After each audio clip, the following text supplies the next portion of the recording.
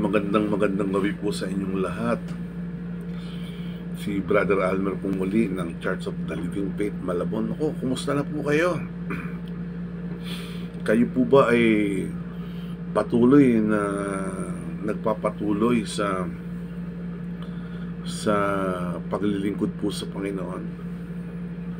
Kayo po ba ay masaya pa rin sa piling ng Diyos? No? Dapat po lagi po tayong masaya sapagkat araw-araw po pinararanas ng Diyos sa bawat isa po sa atin ng kanyang biyaya at pagpapala.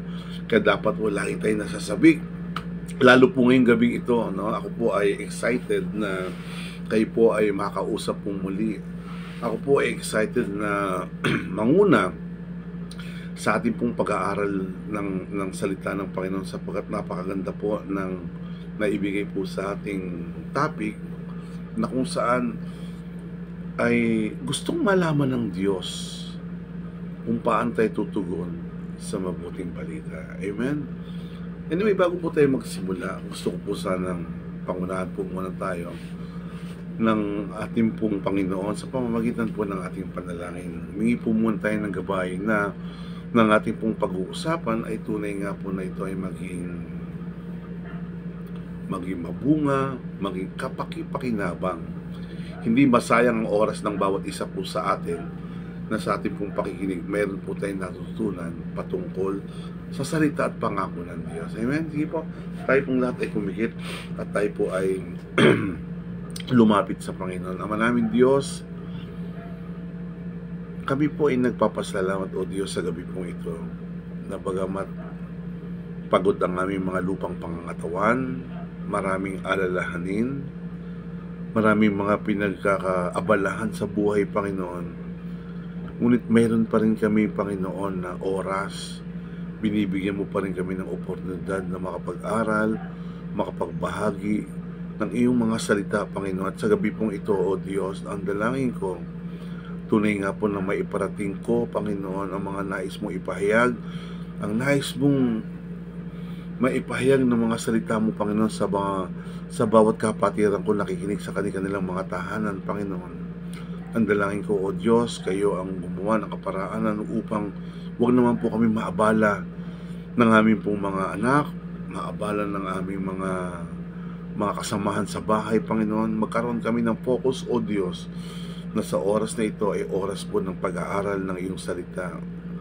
At ang dalangin namin, O Diyos, na sa tuwing kami mag-aaral ng iyong salita, ay ikaw lamang ang aming maitaas, ikaw lamang ang aming maitanghal, Panginoon, at ikaw lamang ang mabigyan ng pinangmataas na kapurihan sa bawat salitang lalabas sa aking bibig, Panginoon. Lord, salamat po. Kayo po ang muli ang maitaas, kayo ang manguna. Samahan mo po kami sa aming kalagitnaan, sa aming pong pagsasalusaluhan ng iyong mga salita, Panginoon. Pagpalain mo, O Diyos, ng mga bawat letra na lalabas sa aking bibig ay maging kapakipakinabang sa bawat isang nakikinig po sa gabing ito. Salamat po, Panginoon. Samahan niyo po kami sa tanging pangalan ni Jesus. Amen. Ang ating pong pag-uusapan ay patungkol po sa aklat po ng Deuteronomio. Yan, Deuteronomio.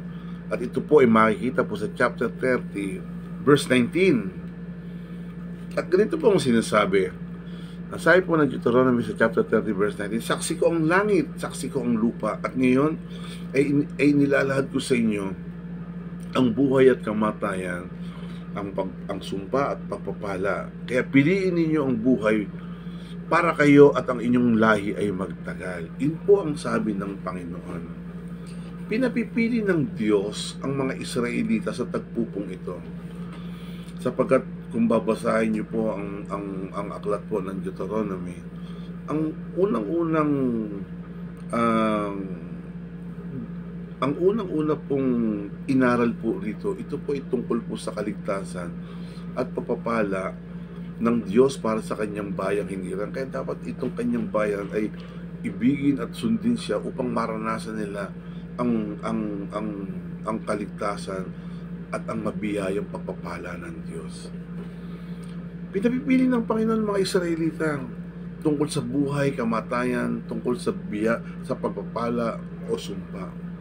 Ngunit, ang pakikipagkasunduan ng Panginoon, ang kanyang ang kanyang tipan sa mga Israelita. Ang sabi nila, ang sabi niya, piliin niyo ang buhay.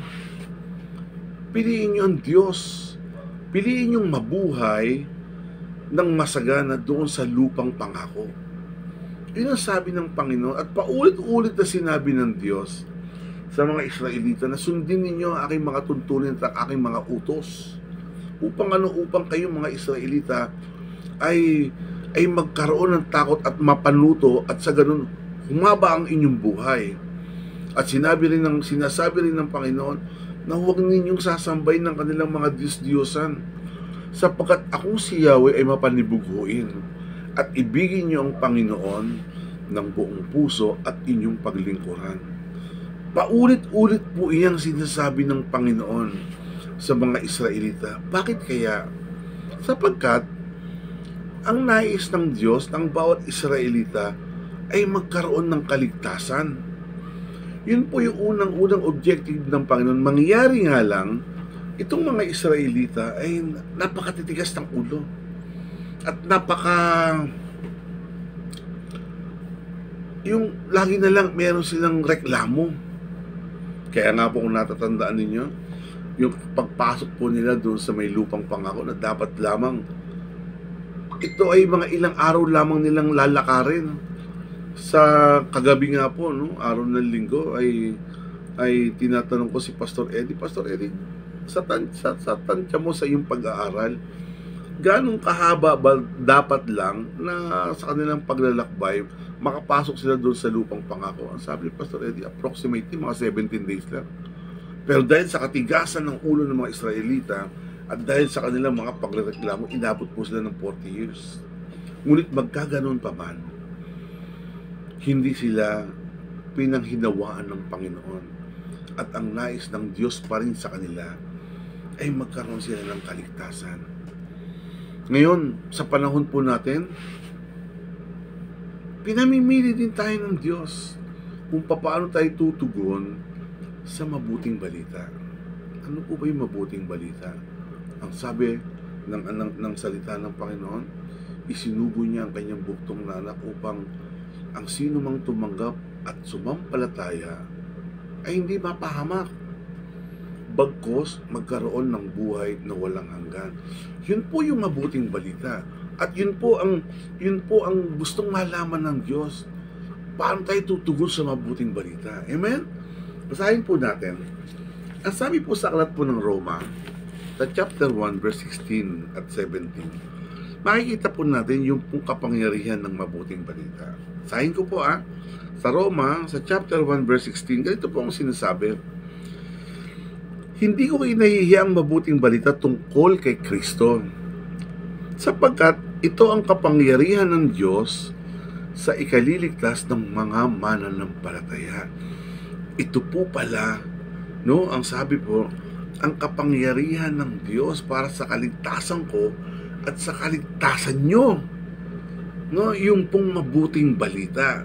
Ang sabi po ng verse 16. Ang sabi ng verse 17, inihahayag nito ng, ng ang pagpapawalang sala ng Diyos sa mga tao ay nagsisimula sa pananampalataya. At nagiging ganap sa pamamagitan ng pananampalataya at ayon sa nasusulat, ang pinawalang sala, pinawalang sala sa pananampalataya ay mabubuhay. So maliwanag po yun, no? ang pinawalang sala sa pamamagitan ng pananampalataya ay mabubuhay. Kaya ngayon, pinamimili tayo ng Diyos. Paano tayo tutugon sa mabuting balita? Una-una sa lahat, sa pagtugon po natin sa mabuting balita, unang-una po, piliin po natin na mabuhay sa kabutihan ng Diyos. Ang sabi po sa awit sa chapter 27 verse 13, ganito po ang sabi, Ako ay nananalig na bago mamatay, masasaksihan ko na ang iyong kabutihan ay iyong igagawad sa iyong mga hinirang. No? Sabi po ng mga awit yun na nananalig siya na bago daw siya mamatay, na makikita niya na ang kabutihan ay kanyang ay kanya pong igagawad sa kanyang mga hinirang. Sapagkat iyan po ang pangako ng Panginoon. Hindi lamang ipinangako ng Diyos ang buhay na walang hanggan, na pag dumating ang araw na pag tayo po ay kinuha na ng Panginoon, tatamasahin po natin ang buhay na walang hanggan. Maliban, ma, maliban po doon, pinangako rin po ng Diyos na habang tayo ay naninirahan pa dito sa lupa, dito sa ating mga literal na mga bahay, ipinangako din po ng Diyos na mararanasan natin ang kanyang kabutihan. Kung pipiliin natin ang buhay, kung pipiliin natin ang Diyos, mararanasan natin ang kanyang pagpapala, mararanasan natin ang kanyang kabutihan. Bakit? Ano ang sabi ng Diyos? No? Ang nais ng Diyos maging masagana ang ating buhay. Sinabi niya sa aklat ng Jeremiah yan. At ito po, paulit-ulit na natin itong nadidinig. Pero pangako po ito ng Panginoon. Anong sabi ng Diyos? For I know the plans I have for you, declares the Lord. Plan prosper you. Yun po ang sabi ng Diyos. Ang nais ng Diyos, habang tayo ay nandito sa lupa, maranasan natin ang kanyang kasaganaan. Amen? No, sabi nga po ng Philippians 4.19, anong sabi? At dahil mula sa kanyang kayamanan na hindi maubos-ubos, isipin po ninyo, no? Ang description ng Biblia, mula sa kanyang kayamanan hindi maubos-ubos, ang lahat ng iyong pangangailangan ay ibibigay sa iyo ng Diyos. Malinaw po ba yun? Ang lahat daw po ng pangangailangan ay ibibigay sa iyo ng Diyos. Saan manggagaling? Mula doon sa kanyang kayamanan hindi maubos-ubos. Paano ngayon ang proseso ng pagbibigay? Ang sabi po ng aklat, ang banal na aklat, sa pamamagitan ni Kristo Jesus. Kapag po pinili po natin ang Diyos, pag pinili po natin ang buhay, ipararanas ng Diyos sa bawat isa sa atin ang kasaganaan ng buhay. Amen? Malinaw po iyan. Napakalinaw po mga, ng, na pangako po iyan ng Diyos. No? Sa pamamagitan ni Kristo Jesus. Kaya't kinakailangan, no, binibigyan tayo, excuse me po, ah, iinom lang po, tinutuloy po ang kalaban pinapipili po tayo ng Diyos. Tinitingnan niya kung paano tayo tutukol sa mabuting balita. Piliin natin mabuhay sa kabutihan ng Diyos sapagkat na sa kanyang mga pangako ipararanas niya sa atin ang kasaganaan ng buhay. Pangalawa, paano tayo tutugon sa mabuting balita? Lumakad po tayo sa kapahayagan ng kanyang mga salita. No? Sa, anong sabi ng Deuteronomy chapter 30 verse 14? Ang kautusan ay di malayo sa inyo, nasa inyong bibig, nasa inyong puso, kaya magagawa ninyo. Amen? Magagawa ninyo. Ang sabi nga po eh, kung kung atin lamang pong lalakaran ang katotohanan ng salita ng Panginoon, at kung mauunawaan po natin ang kanyang mga pangako, lalo pat sa panahon ngayon na panahon na napakahirap ng buhay, hindi po tayo magugutom, hindi po tayo magkukulang. Amen?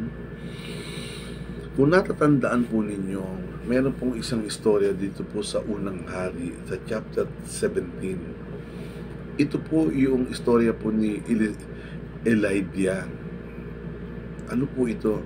Sinabihan siya ng Panginoon, Elijah, umalis ka dyan sa iyong kinatitirahan. Pumunta ka doon sa may batis ng karit at pansamantala doon ka muna mamuhay. At huwag kang mag-alala, sabi ng Panginoon. Ang batis na iyon ay yung maiinuman. At bawat araw, magpapadala ako ng uwak para sa iyong kakainin. Isipin po ninyo ha bawat araw magpapadala ko ng uwak para sa iyong kakainin. Palibhasa, alam ni Elijah ang salita ng Diyos at alam niya kung ano yung mga pangako para sa kanya. Ano ang tugon niya? Ang sabi po ng unang hari sa chapter 17, ganyan nga ang ginawa niya. Lumakad siya at nanirahan sa batis ng karit No? Ang sabi ng 2 Corinthians 5.7, Walk by faith, not by sight. Ganito po ang ginawa ni Elijah. At ako po, no, pina, pinagagana ko po ang aking imahinasyon. Kung ako po kaya, o, huwag na lang ako, ikaw na lang. Kung ikaw kaya ay makarinig ng ganong salita, na magpunta ka doon sa batis, ang batis na yun ay kaya mong inumin. At ang iyong kakainin, papadala ko na uwak. Ano ang tugod mo? Magpapadala ng uwak para sa pagkain mo. Ano itutugon mo sa Diyos? Kaya nga po sa kaya nga po ang ating pong pangalawang pagtugon sa sa sa mabuting balita, lakaran natin ang kapahayagan ng kanyang mga salita. Napaka-importante po na ating pong lakaran ng katotohanan ng mga salita ng Diyos. Sabi ko nga po kanina, kung mauunawaan lamang natin ang mga pangako ng Panginoon sa panahon ng tagutom, sa panahon ng, ng kaguluhan, hindi po tayo pagkukulangin ng Diyos. Basta maunawaan lamang natin ang kanyang mga pangako. Amen. Kaya nga po sabi, no, tinuturo po ng, ng pangalawang Korinto, lumakad ka sa pananampalataya at huwag kang lumakad doon sa mga bagay na nakikita mo. Amen. Pangatlo, paano tayo tutugon sa mabuting balita? Ang sabi po, piliin natin na hanapin at maranasan ang katwiran at ang kaharian ng Diyos. Alam po ninyo, ang sabi po ng Matthew 6.33, Seek ye first the kingdom of God and His righteousness, and all these things shall be added unto you. Sabi niya, unahin mo anya ang katwiran at ang kaharian ng Diyos at ang lahat ng bagay ay idaragdag sa iyo. Napaka napakadali pong bigkasin. Pero kung uunawain po natin, kung uunahin mo daw ang katwiran at ang kaharian ng Diyos, no? Ang sinasabi po rito yung ating pong pagsunod. Kung ikaw ay, ay, ay susunod ng buong puso, ng buong puso sa Diyos, ang pangako ng Panginoon, ang lahat ay idaragdag sa iyo. Ang tanong, ituuna mo ba ang kaharian at ang katwiran ng Diyos? Para maranasan natin yung mga sinasabi na ang lahat ng bagay ay daragdag, kinakailangan daanan po natin. No, daanan po natin, panghawakan, tayuan po natin na yung, pag, yung, yung sinasabi na unahin ng katwiran at ang kaharian ng Diyos, makita po ang pagsunod sa atin. Yung totoong pagsunod. At ang pangako ng Diyos, ano pong pangako ng Panginoon? Ang lahat ng bagay ay idaragdag sa atin. Isipin po ninyo yun, ang lahat ng bagay ay idaragdag sa atin. Kaya pagka tunay na ng iyong pagsunod, no, yung paghahanap mo ng katwiran, paghahanap mo ng kaharian ng Diyos, at isinapuso mo talaga, ang sarap ng pangako ng Diyos. Ang pangako niya, ang lahat ay daragdag sa iyo. Amen. Kaya nga sabi po ng Pilipo sa chapter 4, ka niyang mabalisa sa, sa anumang bagay, bagkos hingin mo sa Diyos ang lahat ng iyong pangangailangan sa pamamagitan ng panalangin may, pana, may pasasalamat. Na inaaral ko po yung verse na yan, sabi, hingin mo ang lahat ng iyong pangangailangan sa pamamagitan ng panalangin may pasasalamat. Kung mananalangin kang may pasasalamat, ibig sabihin, ibinigay na sa iyo.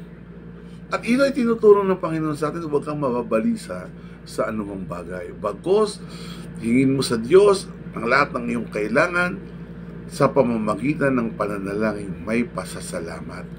Huwag po niyong kalilimutan yung may pasasalamat. Yun po kasi yung pinaka-missing link na yan, na tinugon ka na ng Diyos. By faith, tinugon ka na ng Diyos. Kaya nga po ang sabi, unahin natin ang kanyang katwiran at ang kanyang kanyang kaharian. Amen? Ngayon, ang tanong,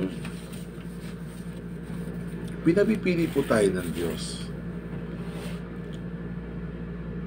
Ano ang iyong pagtugon sa mabuting balita? Inilahad na ng Panginoon sa mga Israelita at maging sa atin. Ipinakita na ng Diyos kung ano ang kung ano ang kanyang kakayahan, no? Sabi sa sa Timoteo, ang, ang, ang unang-unang objective ng Lord, hindi lamang mga Israelita, kung hindi lahat ng tao ang gusto niya magkaroon ng kaligtasan. Ngunit ang kaligtasan ay matatamo kung papaano ka tutugon sa mabuting balita. Amen? Salamat sa Panginoon sapagkat sa mga ganitong pag-aaral, napakapayak, napakasimple, pero mapapatanong ka nga sa sarili mo, paano nga ba ako tutugon sa paanyaya ng Panginoon patungkol sa kanyang katapatan, patungkol sa kaligtasan. Amen? Lahat po tayo manalangin, magpasalamat sa Panginoon sa biyayang natanggap po natin sa gabi po ito. Ama, Oh, hallelujah. Salamat, Panginoon, sapagkat maging sa panahon pong ito, pinamimili mo po kami kung paano kami tutugon sa mabuting balita. Paano namin tutugunin, tutugunin ang iyong paanyaya, O Diyos. Sa maiksing amin pong pag-aaral, Panginoon, ang dalangin ko ay mayroon pong naiwan sa kanilang kaisipan patungkol sa pagtug pagtugon namin, Panginoon, sa iyong panawagan. Salamat Panginoon sapagkat hindi ka nanghihinawa. Hindi ka napapagod na magpaalala sa bawat isa sa amin. Sapagkat kami nagpapasalamat sapagkat ang iyong mga plano sa bawat isa sa amin, ang nais mo, ang lahat ay magkaroon ng kaligtasan. Salamat po. Salamat sa opportunity, Panginoon, na sa gabi ito ng aming pong pag-aaral, kami ay makatugon ng tama. Sabi, sinabi niyo nga po, Panginoon, nasa amin ang, ang nasa amin ang pagpapasya. At sinabi mo, mamuhay kami ng tulad ng matatalino at huwag kami mam, mag, mamuha, ang aming pamumuhay ay matulad sa mga matatalino at hindi sa mga mangmang sapagkat napaka-critical, Panginoon, ng aming pagdedesisyon, Panginoon, patung, patungkol sa pagtugon, Panginoon, sa iyong panawagan, Lord. Salamat po.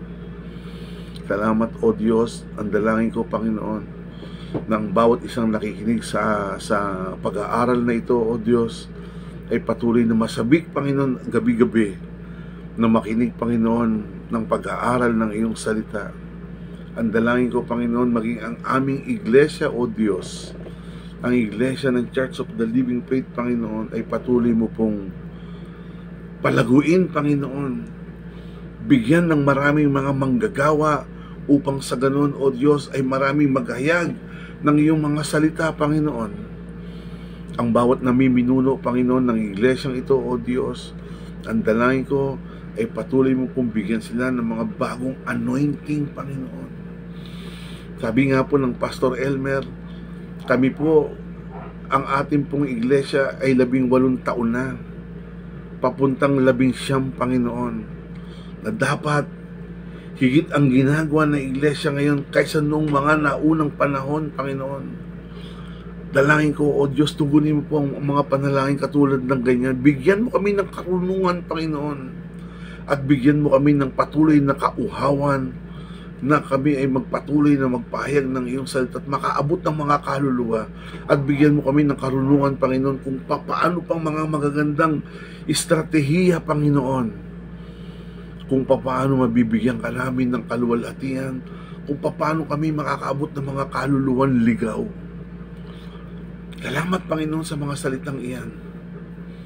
At patuloy, Panginoon, amin pong inilalapit sa iyo ang aming pong bayan, ang aming bansa, Panginoon, na nagsisimula uli sa bagong administrasyon, Panginoon.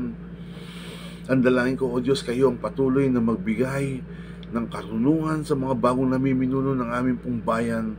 Tunay nga, O Diyos, ng mga taong ito ay, ay may isa puso lamang ang paglilingkod bayan.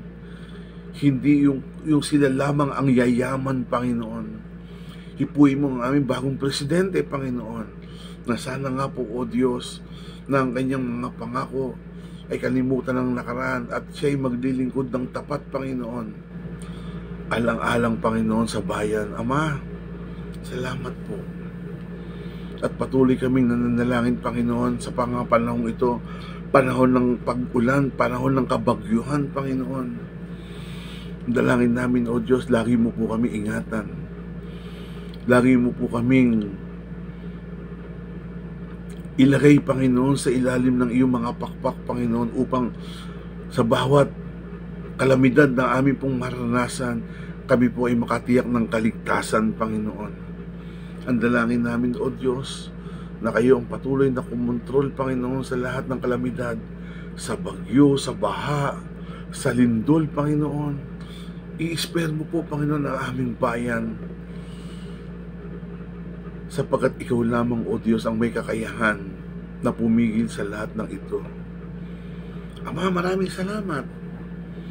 Maraming salamat sa buhay.